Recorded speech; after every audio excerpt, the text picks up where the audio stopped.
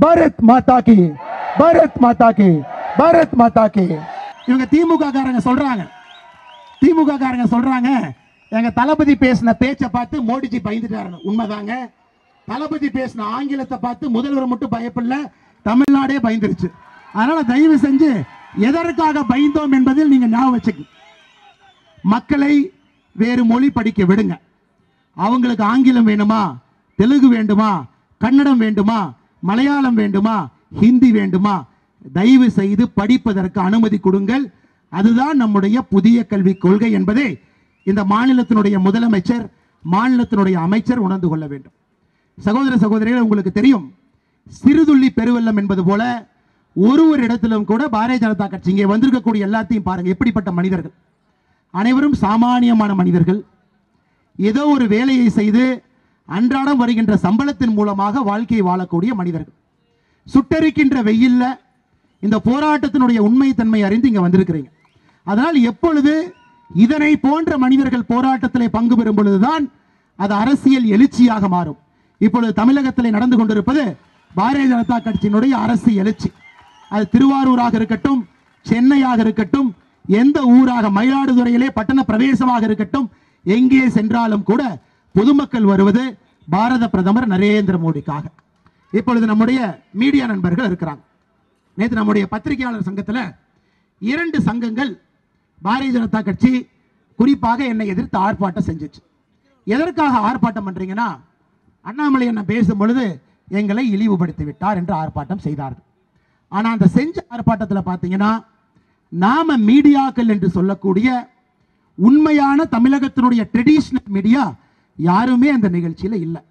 அப்ப அந்த நிகழ்ச்சியில யாரு இருந்தாங்க அப்படிங்கிறது முக்கியமான கேள்வி. அந்த நிகழ்ச்சியில யார் இருந்தாங்கன்னா பாரத பிரதமர் நரேந்திர மோடி அவருடைய தாயை யார் பழித்து சொல்லி மீடியா என்று சொல்லுகின்றார்களோ அந்த மனிதன் அங்க இருந்தான்.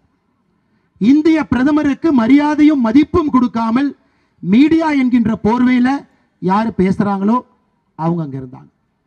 பாரதிய ஜனதா கட்சி எந்த காலத்திலும் இங்கே வளரக்கூடாது என்கிற கங்கணம் கட்டிக்கொண்டு எந்த டிஎம்கே காரன் மீடியா போர்வையை போற்றி ஓனாயாக வலம் வந்து கொண்டிருக்கின்றார்களோ அவங்க அந்த கூட்டத்தில் இருந்தாங்க. எங்களுக்கும் மீடியாக்களுக்கும் எந்த பிரச்சனையும் கிடையாது. எங்களுக்கு பிரச்சனை இருப்பது மீடியா என்கின்ற போர்வையில் ஒளிந்திருக்கக்கூடிய ஓநாய்கள்கிட்ட எங்களுக்கு பிரச்சனை இருக்கிறது. பாரத பிரதமரை பாரத பிரதமரை பழித்து சொல்லக்கூடிய மனிதர்கள்ட்ட எங்களுக்கு பிரச்சனை இருக்கு. மோடிஜி தன்னுடைய தாயாரோடு அமர்ந்து உணவு உண்ணும் பொழுது தாயாரை பழித்து பேசி அவருக்கு தண்ணி வை அப்படின்னு ஒரு மீடியாக்காரர் சொன்னால் அவங்க கிட்ட எங்களுக்கு பஞ்சாயத்து இருக்கு எங்களுக்கு பிரச்சனை இருக்கு. அதனால் பாரதிய ஜனதா கட்சியை பொறுத்தவரை மீடியா நண்பர்களுக்கு என்ன மரியாதை கொடுக்க வேண்டுமோ அதை மூன்று மடங்கு கொடுப்போம். அதில் எந்த மாற்று கருத்தும் கிடையாது. அதே நேரத்தில் இயேசுநாதரை போல ஒரு கன்னத்தில் அறை வாங்கி கொண்டு இன்னொரு கன்னத்தை காமிங்க எங்ககிட்ட அது கிடையாது. அதையும் தெளிவாக சொல்லிவிடுகின்றோம். பாரத பிரதமரை கொள்கை ரீதியாக உங்களுக்கு விமர்சனம் இருந்தால் மீடியா என்கின்ற போர்வையில் இருக்கக்கூடிய சில சகோதரர்கள் தன்னை சுய பரிசோதனை செய்து கொள்ள வேண்டும். நீங்கள் எதுக்கு சப்போர்ட் பண்ணுறீங்க ஃபேஸ்புக்கில் உங்கள் ட்விட்டரில் என்ன ஐடி வச்சுருக்கீங்க? யாரை எதிர்த்து அரசியல் செய்கிறீங்க உங்கள் சொந்த கருத்தை தயவு செய்து நீங்கள் பணிபுன்றுக்கு புரிகின்ற மீடியாக்குள்ளே கொண்டு வந்து உங்களுடைய மீடியாவினுடைய கருத்தாக நீங்கள் திணிக்கும் பொழுது பாரதிய ஜனதா கட்சிக்கு அதிலே பிரச்சனை இருக்கும். அதில் எந்த மாற்று கருத்தும் கிடையாது. அதனால் சகோதர சகோதரிகளே மீடியாவின் மீது பெரும் மரியாதை வைத்திருக்கக்கூடியது பாரதிய ஜனதா கட்சி. பாரதிய ஜனதா கட்சியில் இருக்கிற யாருமே மீடியாவை பார்த்து சிகப்பு விளக்கு என்று சொல்லவில்லை. பாரதிய ஜனதா கட்சியில் இருக்கிற யாருமே மீடியாவை பார்த்து என்னையா என் பையன் அந்த ஆஃபீஸை கொளுத்துனன்னு கேட்டியா? நீ நானும் பெட்ரோல் ஊற்றி சாவலாவா அப்படின்னு முன்னாள் தமிழக முதலமைச்சரை போல பாரதிய ஜனதா கட்சியில் எந்த தலைவரும் பேசியது கிடையாது. பாரதிய ஜனதா கட்சியில் இருக்கக்கூடிய எந்த தலைவரும் மீடியாவினுடைய நாக்கை சுளுக்கெடுத்து விடுவேன் என்று பேசியது கிடையாது.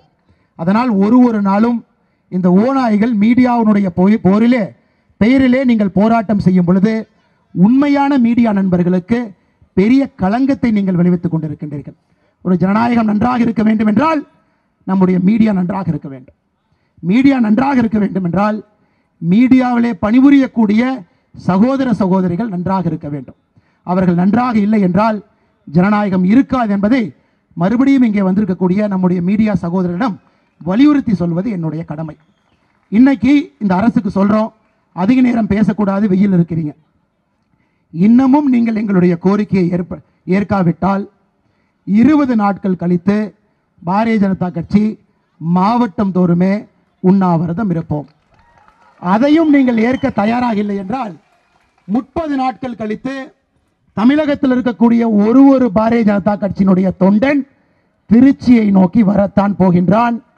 மாபெரும் பேரணியை திருச்சியிலே நடத்தத்தான் போகின்றோம். பத்து லட்சத்திற்கும் மேற்பட்ட பாரதிய ஜனதா கட்சியினுடைய தொண்டர்கள் திருச்சி பேரணியில இருக்கத்தான் போகின்றார்கள். முப்பது நாட்கள் கழித்து திராவிட முன்னேற்ற கழகத்தினுடைய அஸ்தமனம் பாரதிய ஜனதா கட்சியினுடைய ஆகமனம் திருச்சியிலே திருப்பு முனையாக இருக்கத்தான் போகிறது. அது வேண்டாம் இன்னும் கொஞ்ச நாளைக்கு திமுக உயிரோடு இருக்க வேண்டும் என்று நினைத்தால் பெட்ரோல் டீசல் விலையை குறைங்க.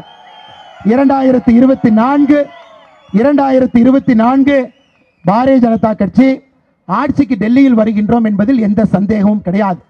ஆனால் தமிழ்நாட்டில் தமிழ்நாட்டிலே இருபத்தி ஐந்து எம்பிக்களோடு வருகின்றோம் என்பதுதான் இந்த கூட்டம் சொல்லுகின்ற செய்தி. திருச்சியிலே முப்பது ஆட்கள் கழித்து இந்த மிகப்பெரிய பேரணியை நடத்தத்தான் போகின்றோம். இருபது நாட்கள் கழித்து மாவட்டம் தோறும் எங்களுடைய உண்ணாவிரத அறப்போராட்டத்தை நடத்தத்தான் போகின்றோம். எங்களது அறப்போராட்டம்.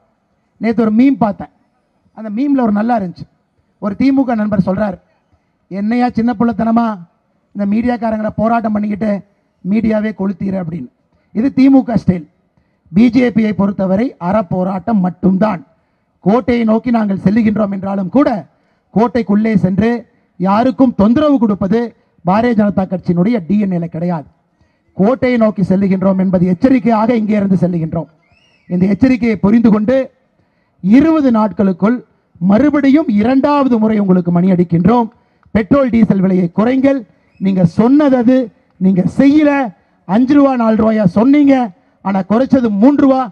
அதுக்கு பொதுமக்கள் கேட்டா நேரம் சொன்னமா காலம் சொன்னமான்னு கேட்டீங்க. அதுக்கப்புறம் அசம்பிளியில் சொன்னீங்க. தமிழ்நாட்டில் எவ்வளவு டீசல் வண்டி ஓடுதுன்னு கணக்கெடுக்கிறேன். பிடிஆர் அண்ணன் மாவட்ட மாவட்டமாக போய் ரோட்டில் உட்காந்து ஒரு ஒரு டீசல் வண்டியாக கணக்கு எடுத்துகிட்டு இருக்கார்.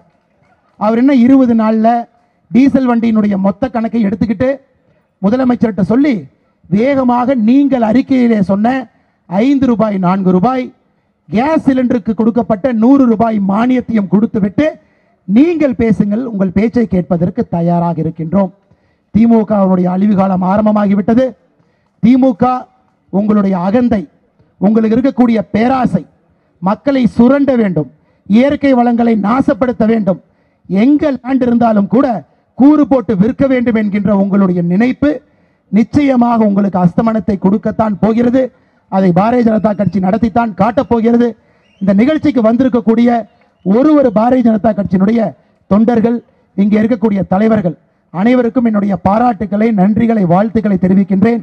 காரணம் இன்னும் இரண்டு வருடம் இன்னும் இரண்டு வருடம் இப்படித்தான் இருக்க போகிறது. நீங்கள் போராட்டங்களுக்கு தயாராக வேண்டும் கைதுக்கு தயாராக இருக்க வேண்டும் பொய் வழக்குகளுக்கு தயாராக இருக்க வேண்டும். நாம் அனைவரும் கூட ஒரு சிறிய அளவு சாக்ரிஃபைஸை பண்ணித்தான் ஆகணும். பண்ணுவதற்கு நீங்கள் தயாராக இருக்க வேண்டும் என்பது என்னுடைய அன்பான வேண்டுகோள். ஏன்னா அர்ப்பணிப்பு இல்லாமல் எந்த பெரிய விஷயமும் நடக்காது. தமிழக பாரதிய ஜனதா கட்சி அர்ப்பணிப்புக்கு தயாராக இருங்கள் இரண்டு வருடம் திமுக நம்மளை சும்மா விட போகிறதில்ல ஆனால் நாமளும் திமுகவை ரெண்டு வருஷம் சும்மா விட போகிறது இந்த போட்டியில் இந்த போட்டியில் ஒருவர் மட்டும்தான் வெற்றி பெற விட முடியும். ரெண்டு பேரும் ஜெயிக்க முடியாது. திமுக ஜெயிக்குதா? பாஜக ஜெயிக்குதா? ரெண்டு வருஷத்தில் ஒருவர் மட்டும்தான் அந்த கோட்டை தாண்டி வெற்றியாளராக வர முடியும்.